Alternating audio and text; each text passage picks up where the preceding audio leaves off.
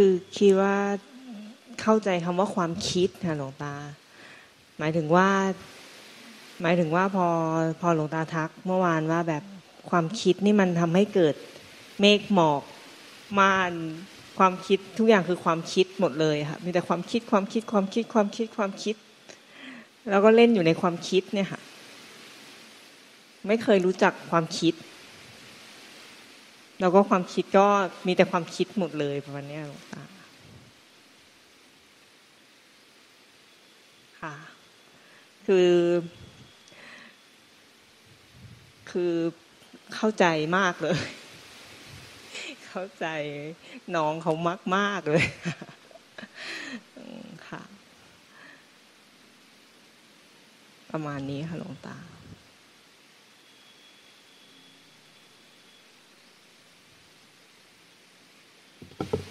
เหมือน กันอะไรเนี่ยสี่คนเนี่ยโอ้กันเดียวกันอันเนี้ยอีกอีกหน่อยมาบีเนี่ย มีครอบครัวเนี่ยเหมือนกันเลยเหมือนกันไหมหรือไม่เหมือนอาว่าไง เราว่าเหมือนไหมเนี่ย เหมือนที่อีฟกับอีกก็พูดกับ นี่ไหมพูดกับมุ้ยไหมคือ เวลาหลงก็เหมือนกันหมดค่ะ คำว่าเหมือนกันหมดก็คือความมีก็คือมีทุกอย่าง แล้วก็เวลามีมันก็มีทุกอย่างจริงๆหลวงตา มันก็จะไม่เข้าใจว่ามันจะแก้ปัญหายังไงไอ้นี่ก็เข้าใจหมด ใครพูดอะไรก็เข้าใจหมด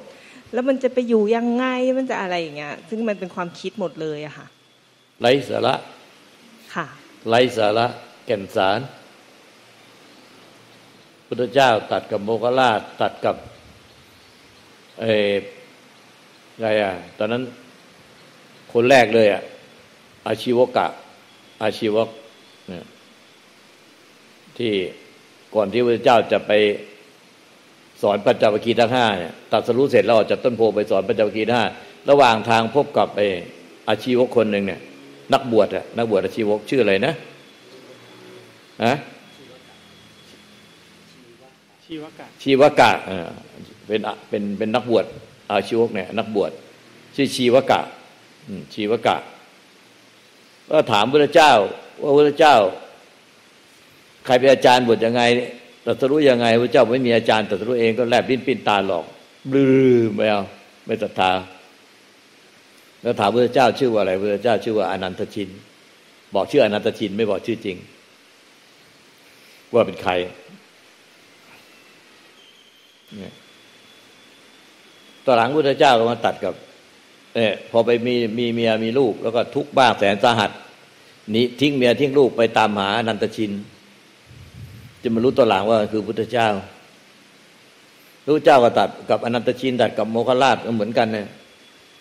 ไร้สาระ เธอจะมองดูโลกนี้เป็นของว่างเปล่าไร้สาระแก่นสารไม่มีอะไรยึดมั่นถือมั่นได้เลยไร้สาระแก่นสารที่คิดที่ปรุงแต่งที่กังวลที่ อยากจะยึดไว้ให้แน่น ยึดไว้ให้มั่นไร้สาระแก่นสาร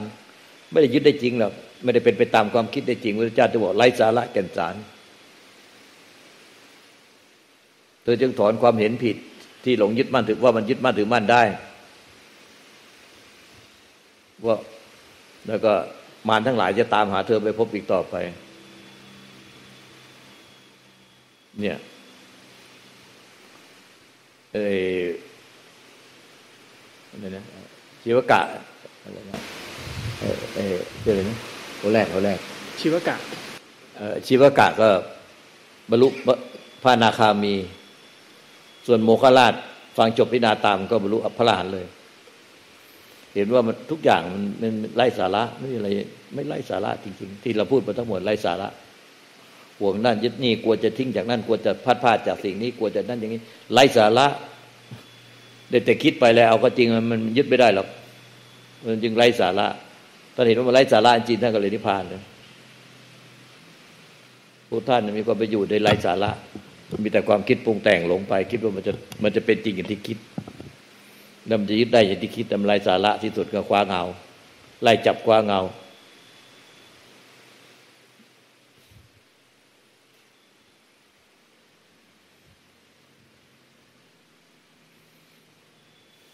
ท่านยังพยายามจะทำอะไรให้เป็นอะไร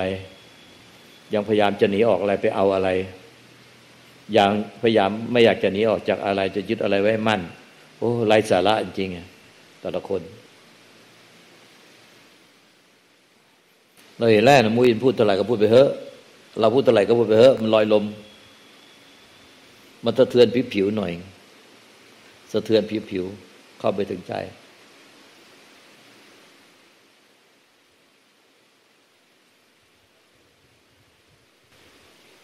หน่อยว่าไงอืม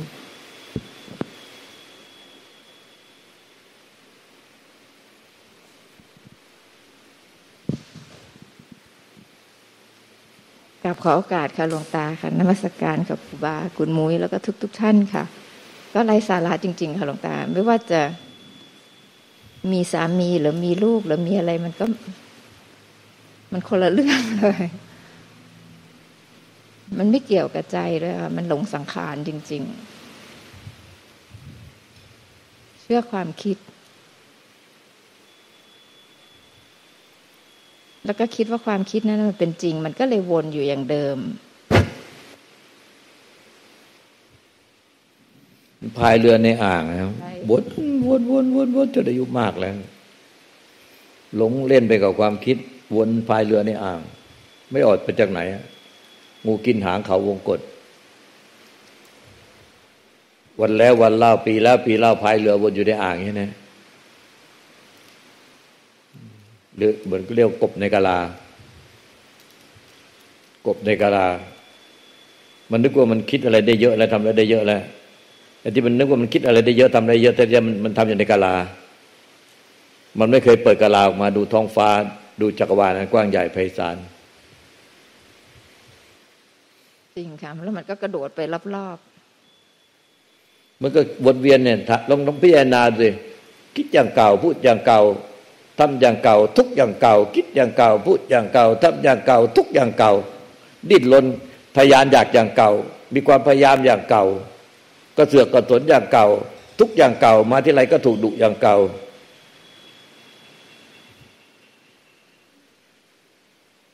วันวันหนึ่งก็วนอยู่แค่เนี้ย ปีนะปีเล่าวนอยู่แค่เนี้ยจึงบอกว่าเหมือนเหมือนวนเหมือนกบเหมือนกบในกาลาคิดว่าเราไปไกลเยอะแยะมากมายนะ แต่เราดูแล้ววนไปวนมาวนไปวนมาวนไปวนมาคิดอย่างเก่า มีอารมณ์อย่างเก่า ทุกอย่างเก่า สบายใจชั่วคู่ แล้วก็ทุกอย่างเก่า คิดอย่างเก่า สบายใจชั่วคู่ นั่งหลับหลับตื่นตื่นตื่นตื่นหลับหลับไม่ไปยังไง ไอ้คนอธิบายก็อธิบายกัน อยู่นั่นแหละมันต้องเห็นว่าอ้าวเขาฟังแล้วทำไมเขาอยู่ๆเขาหลุดออกจกาลาไปได้แล้วเนี่ย ไม่คิดวนเวียนอยู่ในกาลาได้ทำไมเขาเขาเขาจะหลุดออกจกาลาได้ แล้วเราทำไมคิดวนเวียนวนเวียน คิดอย่างเก่า ทุกอย่างเก่าวนอย่างเก่ามาหาหลวงตาเท่าไรก็โดนดุอย่างเก่า ก็สบายใจไปได้ชั่วครั้งชั่วคราวกลับมาก็ทุกอย่างเก่า เห็นไหมมันต้องนึกว่าไอ้มุ้ยอาจารย์มุ้ยมัน มันทำไมอาจารย์อาทิตย์ชีโมเนี่ย มันทำไมหลุดอดไปจากกลาได้วะเนี่ย พวกเนี้ยแต่ทำไมเล่าไปตะวนแบบนี้วนอยู่ในกาลา แล้วถ้านึกไปยิ่งกว่านั้นอีกพ่อแม่ครูบาอาจารย์แต่ละท่านที่เป็นพระอรหันต์นะ ถ้าเป็นเด็กเลี้ยงควายก็เป็นส่วนใหญ่นะเป็นเด็กเลี้ยงควายชาวไร่ชาวนาถ้าไม่ไปเรียนสูงเลยหรอกแต่พระยโสทั้งหลาย มนุษย์เทพเทวดาอินพรมยมยักษ์นาคุดมนุษย์คนทันแม้แต่ในหลวงรัชกาลที่เก้าพระราชินีก็ลงสารนวงศ์สมัยก่อน ตอนสมัยที่รัชกาลที่สิบเป็นเป็นฟ้าชาย ก็ยังไปกราบแทบพระบาท ไปกราบเท้ากราบกับพื้นดินเลย เป็นที่ยอมรับว่าท่านเป็นพระอรหันต์นะแล้วท่านเป็นพระอรหันต์แต่ละท่านที่พระบาทสมเด็จเจ้าอยู่หัวรัชกาลที่เก้าแล้วก็เทพเทวดาอินพรมยมยักษ์นาคุดพวกท่านมีตาทิพย์อยู่ท่านก็มองเห็นว่าแม้แต่เทพเทวดาอินพรมยมญานาคุดอย่าว่าแต่มนุษย์เลยเคารพนับถือ เทพเทวดาเป็นใหญ่ในทุกสวรรค์ชั้นฟ้าก็ให้ความเคารพนับถือนี่เด็กเลี้ยงควายนะชลอชนาไม่ได้เรียนหนังสืออะไรเลย แต่ทำไมท่านฟังทำแล้วมันหลุดออกจากกลาครอบไปได้นี่เห็นไหม ทำไมเราหลุดไม่ได้ เป็นเพราะอะไรเราต้องพิจารณาทบทวนทบทวนทบทวนทบทวน เราก็ไม่ได้เป็นโรคอัลไซเมอร์ อวัยวะก็ครบสาสิบสองเรียนก็สูงกว่าท่าน แต่ทำไมเรามันวนไปวนมาวนไปวนมา คิดวนเวียนอยู่ในวงเวียนในเขาวงกฏอยู่ในกาลาครอบ ทุกเหมือนเดิม มีกิเลสตัณหาเหมือนเดิม นั่งหลับหลับตื่นตื่นตื่นตื่นหลับหลับ ทุกไปอยู่ก็แดะมันเป็นยังไงอะโลกก็จะแตกจะดับหมดแล้ว โลกของขันห้าก็จะแตกจะดับหมดแล้วโลกโลกจริง ๆ ก็จะแตกจะดับหมดแล้ว ตอนนี้ภัยพิบัติก็เกิดขึ้นทุกหัวและแหงสงครามโลกก็จะเกิด แต่ยังหลับหลับตื่นตื่นตื่นตื่นหลับหลับภายในก็ยังหลับหลับตื่นตื่นไม่เป็นผู้รู้ผู้ตื่นผู้เบิกบานทันทีไม่ได้เป็นพุทโธพุทธะทันทีมันเป็นยังไงอะ มันต้องมาสังคยานากันจริงจังไม่ใช่วันนึงคุยกันไปจับกลุ่มแล้วคุยหัวเราะกันกิ๊กกักกิ๊กกักกิ๊กกักมันต้องสังคยานามันนี่ทำไมวะพ่อแม่ครูบาอาจารย์เป็นเด็กเลี้ยงควาย เป็นชาวไร่ชาวนาไม่มีเงินเรียนหนังสือ แต่บรรลุพระอรหันต์กันเป็นแถวเป็นแนว เราเรียนสูงเท่ากระดาษนี้ มีความรู้ขนาดนี้ ไม่พิกลพิการ ไม่เป็นบ้าใบออทิสติกดาวเซนโดม เออ แต่ทำไมเราจมอยู่ในความทุกข์อย่างเก่า คิดอย่างเก่า ทุกอย่างเก่า คิดอย่างเก่า มีอารมณ์อย่างเก่า วนเวียนอยู่ในกบเดกาลา แล้วก็ตายไปด้วยกับตอนอยู่เป็นกบเดกาลาไม่ได้ออกจากกาลาครอบได้เลย เนี่ยเวลาพุทธเจ้าแสดงธรรมท่านจึงกล่าวว่าสาธุการดังกระหึ่มทั้งมนุษย์และเทพเดราอินพรมยมยักษ์นาคุปนุกนทานทุกชั้นฟ้า สาธุเมื่อแจ่มแจ้งนักเจ้าข้าเนี่ยอย่างที่มือเขาว่าเนี่ยแจ่มแจ้งนักเจ้าข้าเหมือนหงายของคว่ำเลย แสดงธรรมเปิด แจ่มแจ้งนักเจ้าข้าเหมือนหงายของคว่ำ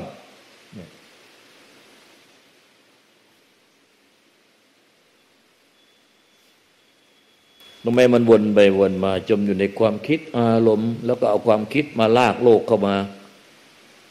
วนอยู่ในความคิดแล้วความคิดลากโลกเข้ามา มันไม่ออกจากความคิดที่เป็นโลกเลย โลกกับลูกผัวลูกเมียบ้านช่องสมบัติพัฒฐาน อดีต อนาคตน้อยเนื้อต่ำใจ น้อยอภัพอับวาสนาอะไรไม่รู้ ความคิดลากโลกเข้ามาเต็มหมดมันไม่เปลี่ยนแปลงเลย กี่วันกี่เดือนกี่ปี ไม่เปลี่ยนแปลงอย่างนี้จะเปลี่ยนแปลงสักหน่อยหนึ่งเอาเดี๋ยวตกภูเขาไปแล้วจะเปลี่ยนแปลงเหมือนขึ้นเขาไปได้หน่อยก็ตกภูเขาลงมาอีกแล้วไอ้คนที่ไม่เปลี่ยนแปลงก็ไม่เปลี่ยนแปลงอะไรเลย ดำมืดตื้อไม่สว่างสวัยได้ได้เลย อยู่ไปวันวันหนึ่ง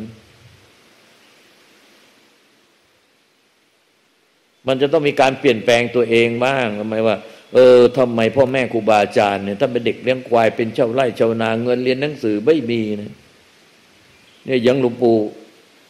บุตรดาถาวโรเนี่ย ท่านไม่มีเงินหนังสือนะ อายุร้อยกว่าในธรรมนภาพเนี่ยก็ที่ยอมรับกันทั่วไปว่าท่านเป็นพระอรหันต์เนี่ย หลายคนก็รู้จักอะแต่ไม่เอาไปเป็นตัวอย่างพ่อแม่ครูบาอาจารย์คนในหลวงรัชกาลที่เก้าของพระบรมสารุวงศ์หลายองค์เป็นพระอรหันทั้งนั้นเนี่ยเป็นเด็กเลี้ยงควายหลวงปู่ฝั้นอาจาโรหลวงปู่แหวนสุจิณโณเนี่ย ลูกชาวไร่ชาวนาก็ไหนหลวงปู่แหวนสุจิณโณหลวงปู่ขาวอนาลโยเนี่ยห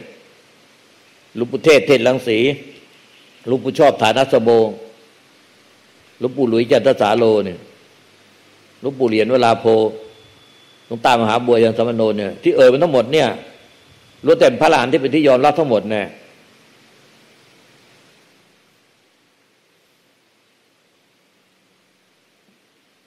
อีกหลายองค์ที่ไม่ได้เอ่ยถึงปุล่าเขียนว่าปโตกันทั้งนั้นเนี่ย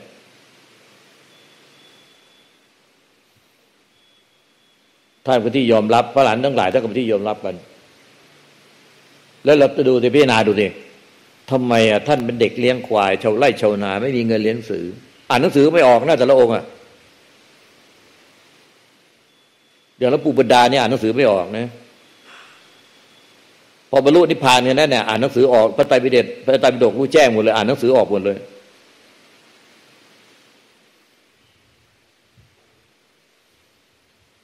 ท่านก็หาความรู้กันจากภายในนี่นะ ทำไมท่านสามารถหาความรู้จากภายในได้ แล้วทำไมหาความรู้ไม่ได้เนี่ยท่านก็เราก็มีร่างกายเหมือนท่านท่านก็หาความรู้จากภายในร่างกายจิตใจของท่านในแหนถ้ามันไปหาความรู้จากที่อื่นหรอกที่ท่านบรรลุปฏิพานกันก็หาความรู้จากภายในร่างกายจิตใจของท่าน ตั้งแต่พุทธเจ้ามาจนถึงพระอรหันสาวกทุกพระองค์ ก็ค้นหาความรู้จากภายในร่างกายจิตใจของท่านจนบรรลุปฏิพานไม่ได้ไปค้นหาจากตำรับตำราอะไรหรอกสมัยก่อนพระไตรปิฎกก็ไม่มี แต่ถ้าก็ฟังธรรมจากพุทธเจ้า การให้ค้นหาสัจธรรมความจริงจากนั้นร่างกายจิตใจของเราให้เห็นว่ามันไม่ใช่ตัวตนจริง ๆ มันไม่ใช่อัตตาตัวตนจริง ๆ มันไม่ใช่เป็นตัวเราเป็นของเราจริง ๆ มันไม่มีสาระแก่นสารอะไรเลยที่ยึดมั่นถือมั่นได้ท่านก็ค้นก็ไปแล้วก็รู้แจ้งแค่นี้แน่จนสิ้นหลงความยึดบ้านถือบ้านก็นิพพานกันเป็นแถวแล้วไม่ได้ไปรู้อะไรมากเลย แต่ทำไมเราทุกข์กันมากเลยวนวนจมอยู่ในความทุกข์เราดูแล้ว มันเบอร์เบอร์แบงแบงบึนมึนงงงงซึมซึมเศร้าเศร้าไม่สว่างสวยไม่มีเวลาสว่างสวัยเลย คนไหนที่เราเห็นว่า เออ มันจะมีกำลัง พอจะช่วยเหลือพระพุทธศาสนาได้ เออ เราพยายามจะจ้ำจี้จ้ำชัยนะก็เอาให้มันจริงเข้ามันจริงเข้า มันก็มีโอกาสทั้งนั้นเนี่ยทุกคนถ้ามัน เออดูแล้วมันพอจะมีกำลังหน่อย มีกำลังพอที่จะเผยแพร่พระพุทธศาสนาช่วยเหลือเกื้อกูลคนอื่นมันไม่เดือดร้อนยากจนขัดสนพวกทรัพย์ เออ มันก็พอจะเผยแพร่พุทธศาสนาได้ ไม่พิกงพิการไปตาบอดหูหนวกแขนขาขาดเป็นออทิสติกดาวน์ซินโดรมเออก็พอจะเผยแพร่พุทธศาสนาได้ เราก็ดูแล้วเออก็ไม่ได้เป็นคนพิกลพิการตาบอดหูหนวกแขนขาขาด เป็นออทิสติกดาวน์ซินโดรม เงินทองอะไรมันก็ไม่ยากจนก้นแค้นแสนสาหัสกำลังสติปัญญาก็มีการเล่าเรียนก็มี ความรู้ความสามารถก็มี เราก็เลยเขี่ยวเข็นเพราะเห็นว่าจะเป็นกำลังในพุทธศาสนาเผยแพร่รักษาพุทธศาสนาไว้ได้เนี่ย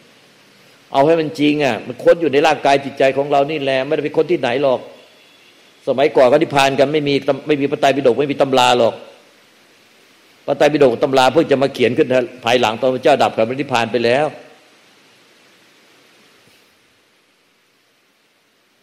เอามันจริงอะคนในร่างกายจิตใจเราเนี่ย ให้ไม่เห็นว่า มันไม่ใช่เป็นตัวตนคงที่เลย ทั้งร่างกายจิตใจเนี่ย มันไม่มีสาระแก่นสารอะไรยึดมั่นถือบ้านได้เลย เป็นตัวเราเป็นของของเราได้เลย ค้นก็ไปให้จริงอะ ว่าไม่เห็นมีอะไรเป็นสาระเลยทำไมมันคิดวนนั่นยึดนั่นยึดนี่ห่วงนั่นห่วงนี่กังวลนั่นกังวลนี่เราจะเป็นนั่นจะเป็นนี่ ไม่อยากเป็นนั่นไม่อยากเป็นนี่ อะไรวุ่นวายไปหมดแต่ละคน เห็นแล้วเราเห็นแล้วมุ้ยพูดไปมันก็ มันก็ได้แค่ผิวผิวเราสะเทือนก็ไปข้างในได้หน่อยหนึ่งเดี๋ยวพอนานนานไปก็จางคลายอีก มันไม่กระแทกถึงใจ มันไม่เห็นว่ามันไม่มีสาระแก่นสารจริง ๆ มันไม่มีสาระแก่นสาร ทุกอย่างมันมาจากความไม่มีที่สุดก็ต้องดับกลับคืนไปสู่ความไม่มี สุดท้ายมันก็เหลือแต่ความไม่มี ไม่มีตัวเรา ไม่มีของของเรา เพราะไอ้ความเป็นตัวเราของของเรา มันก็ไม่มีมาแต่แรก แล้วก็ดับกลับคืนไปสู่ความไม่มีตัวเรา ไม่มีของของเรา มันก็แค่นั้นแหละจากไม่มีมาสู่ความมี จากมีกลับคืนสู่ความไม่มีเดี๋ยวก็ตายกันหมดแล้ว มันจะอะไรกันนักหนาแปลกมากเลย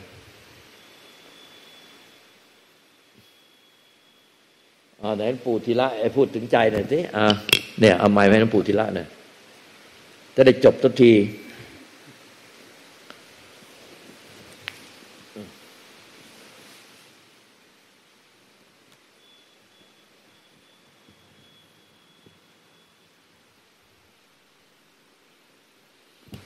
พูดถึงในในแง่เงื่อนไขแล้วกันนะ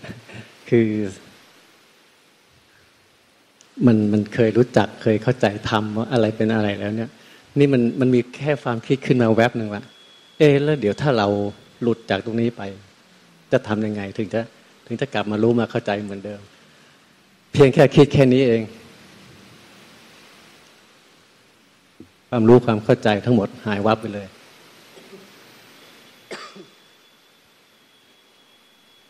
ก็ต้องมาไล่ฟังไล่ไล่ดูไล่รู้ไล่ ทำความเข้าใจใหม่อ้าวพอเข้าใจใหม่ เมื่อสองวันก่อนอ้าวเกิดความคิดขึ้นมาอีกว่า เอ๊ะเดี๋ยวถ้าเราเรารู้เราเข้าใจแล้ว เราจะไปสอนเขาได้ยังไง มันมันไม่มีมันไม่มีไอ้ฤทธิเดชอภิญญาอะไร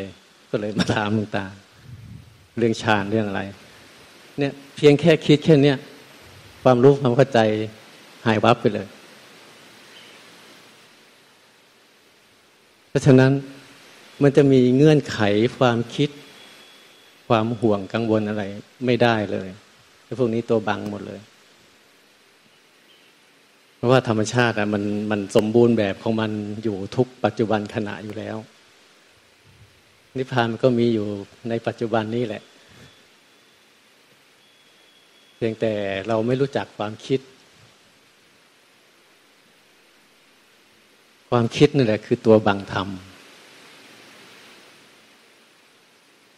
แล้วก็ไม่ได้ไปไปดับไปบังคับไม่ให้มันคิด ก็แค่เห็นว่าความคิดเป็นสังขารปรุงแต่ง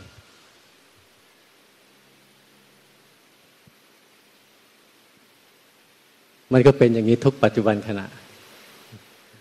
มันมันไม่มีอย่างอื่นนะมันมีแค่ความคิดปรุงแต่งกับ พื้นของพื้นของใจ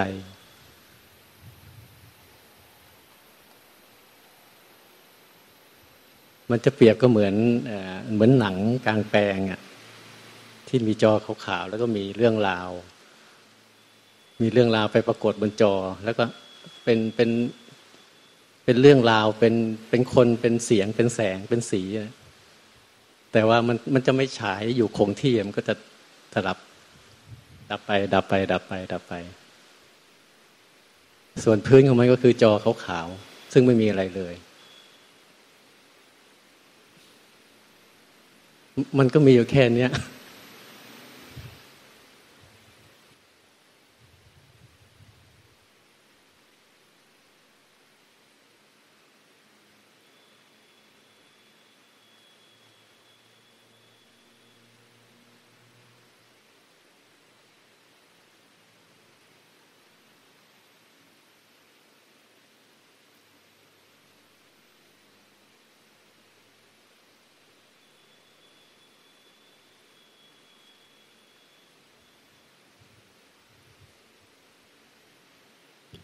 วันหลังต้องให้หลวงปู่พูดคำเดียว ใครมาถามมาอยู่ข้างหน้าหลวงปู่ตวาดคำเดียวยุดใครมาท่าไหนก็ยุดคำเดียวพอวุ่นวายกันนะใครมาท่าไหนมารูปแบบอะไรมาอะไรก็ยุดยุดหลวงปู่หลังตวาดคำเดียวยุด ให้มันกึกก้องกับบนาดไปเลย หยุดดิ้นรนทยานอยาก หยุดจะเอาอะไรเป็นอะไร หยุดจะเอาอะไรให้ได้ หยุดใจเป็นอะไรให้ได้ หยุดว่ากันทันที หยุดปรุงแต่งกันทันทีวุ่นวายกันสารพัดเลย ไม่หยุดทันทีมันไม่หยุดปรุงแต่งมันก็ทุกตาย ทุกทั้งภพชาตินี้และภพชาติหน้าภพชาติต่อๆไป ไอ้หลวงปู่ตวาดให้กึกก้องกำมนาดให้ดังลั่นวัดให้ยุดไม่ว่าใครมาท่าไหนยุดหยุดไปตรงนั้นแหละเหมือนมันต้องมนตะกดเลยพอหยุดเนี่ย จึงสงบพอสงบเนี่ย จึงนิพพาน มันก็แค่นี้นี่ยไม่หยุดไม่สงบ ไม่สงบมันก็ไม่นิพพาน นัตถิสันติพลังสุขขัง สุขใดเล่าจะเหนือกับความสงบเป็นไม่มี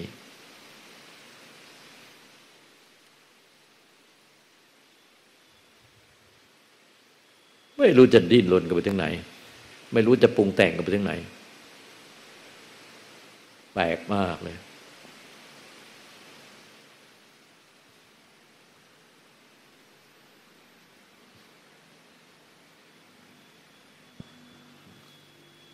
เนาะหลวงปู่เนาะเวลาหยุดนะหยุดมันก็หยุดมันก็สงบแล้ว สงบแล้วก็ไปสุขอย่างยิ่งนัตถิสันติพลังสุขขัง สงบแล้วก็ไปสุขอย่างยิ่ง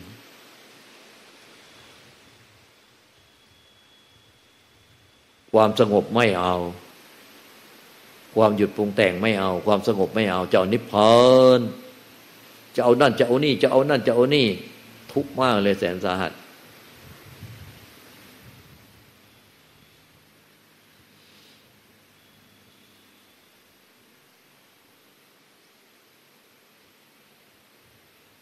ใช่ไหมเนะพี่ใหญ่ยมหน่อยว่าไง พี่ใหญ่ พี่ใหญ่เขาเนี่ยยมหน่อยฮะ